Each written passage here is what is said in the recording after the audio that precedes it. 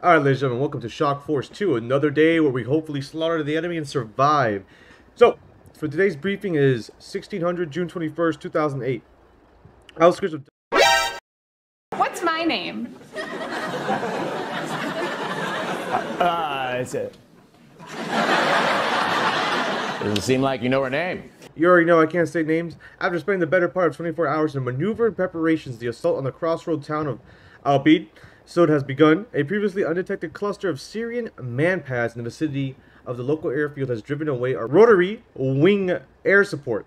This has the potential to foul up our advance into the town, so your reserves have been dispatched to quickly take care of the problem. Mission. Your main priority is to locate and destroy any manpads, ground-to-air missile launchers located within the airfield. Your secondary priority is to destroy any enemy forces encountered. This is a raid. Taking ground objectives is not important. Killing everyone you find. Spike the launchers, get out of there. I like that. Friendly forces, you command half of the uh, C Company, Stryker, led by Company XO. The other half of the C Company is engaged in the attack on the town further south. One section of 120mm mortars from a nearby unit has been tasked to assist your mission. Enemy forces, a UAV flyby was quickly driven off by small arms fire, but was able to determine that there is a trench network by the tarmac. Ooh. And that there are no armored vehicles in the area. Ooh!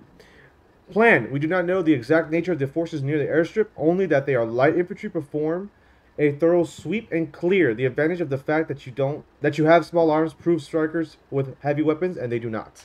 Well, yeah, I just smacked the hell out of my phone. So I'm just gonna kind of schwack him with our heavy armor and just get in there. Let's see a little tactical map. It does seem like it's gonna be a lot of trench networking. Um, it we might if these are tall enough buildings, I want to be able to take the buildings using the scout and kind of motor the position.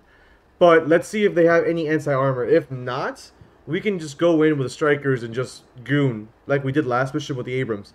Either way, let's get this bread.